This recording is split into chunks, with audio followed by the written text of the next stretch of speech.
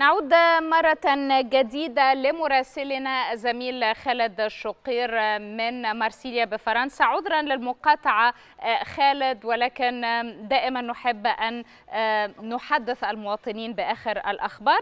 كنت تتحدث عن طبعا المؤتمر الصحفي الذي انتهى منذ قليل وتضمن الإجراءات الخاصة بعودة الحياة إلى طبيعتها في فرنسا. نريد أن نتحول للقطاع الصناعي تحديدا قطاع السيارات ما الجديد في هذا الشأن؟ وحدثنا أكثر عما يعني يتداول بشأن خطط الإنقاذ الخاصة بقطاع السيارات. دينا كما ساهمت الدولة الفرنسية ودعمت قطاع السياحة وخطوط الطيران الفرنسي بسبعة مليارات ها هي في هذه المرة تحاول إنقاذ قطاع في, في, في قطاع السياحة والطائرات عفوا.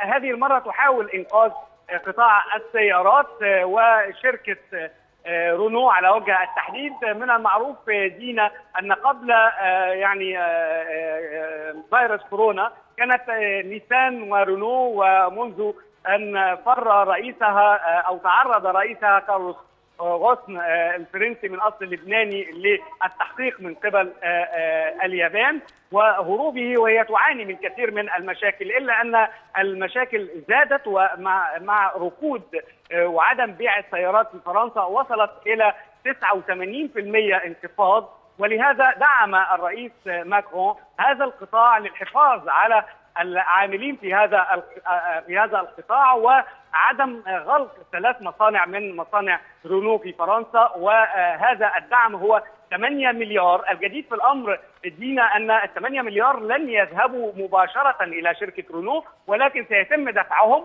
ودعمهم إلى الشركات الفرنسية التي تعمل في إطار شراء سيارات للحفاظ على البيئة منها السيارات الكهربائية.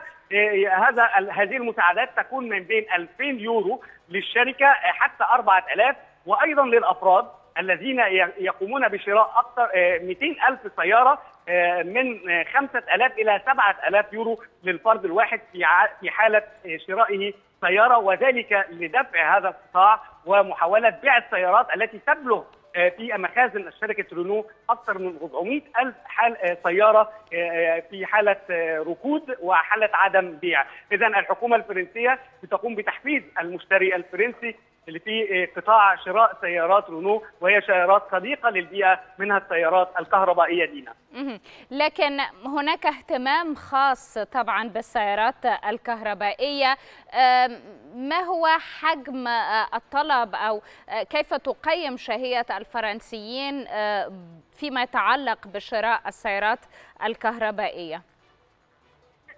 أعتقد أن الشعب الفرنسي هو أمام مشكلة ومعضلة وهي الخاصة ب يعني هذه المحطات التي تقوم بشحن هذه السيارات المتواجدة على الطرق. وأعتقد أن الرئيس ماكرون طمأن الفرنسيين بأنه في إطار هذا العام وحتى قبل 2022 سيكون هناك محطات لتجديد هذه السيارات بالكهرباء منتشره على كل جوانب الطرق التي تتواجد داخل الحدود الفرنسية، أعتقد أن للحفاظ على البيئة الرئيس الفرنسي وحكومته تحاول بث الفرنسيين لمشروع سيارات الكهربائية وليس فقط الفرنسيين بل الشركات الفرنسية التي تعمل في إطار الإنتاج الخاص بالعمالة في هذا المجال وهو مجال السيارات الكهربائية أو نصف الكهربائية التي تتحكم فيها دلوقتي كثير من الشركات الفرنسية والأوروبية.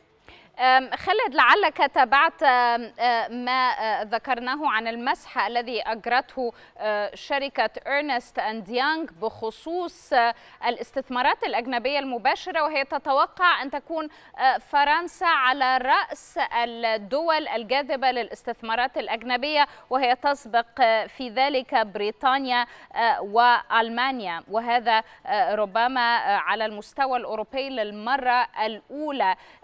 لماذا برأيك يعني تصعد أو تزيد جاذبية فرنسا فيما بعد مرحلة كورونا؟ يعني الدولة الفرنسية في في في العادة بتحاول أن تكون في على رأس استثماراتها أو تكون على رأس يعني الاقتصاد الأوروبي وذلك بعد أن ظهر جليا أن فرنسا بتمر بصعوبات اقتصادية كبيرة ولكنها هي الحقيقة بتستخدم سياسة للحفاظ ليس فقط على اقتصادها بل اقتصاد الاتحاد الأوروبي بصفة عامة وهذا دعا الرئيس الفرنسي بالتحالف مع المستشارة الألمانية ميركل وأعتقد أن فرنسا بتحاول أن أن تطور من أدائها الاقتصادي وتدخل إلى هذا المجال وهذا السوق على وجه التحديد. أشكرك شكرا جزيلا زميل خالد شقير مراسلنا من فرنسا. شكرا جزيلا لك.